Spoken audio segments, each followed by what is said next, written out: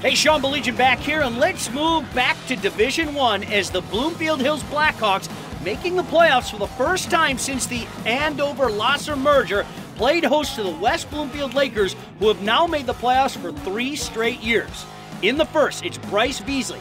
Gets it out to Davion Johnson. He escapes a few purple shirts and takes this one in from 14 yards out, and the Lakers draw first blood.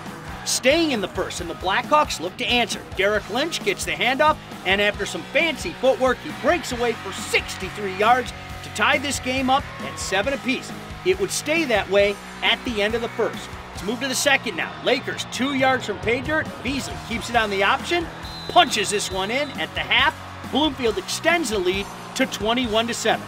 Now moving ahead to the third, the Lakers extend their lead to 24 to 14. It will be Garrett Wynn looking for a hole from two yards out. He finds it and scores, and that would be all she wrote.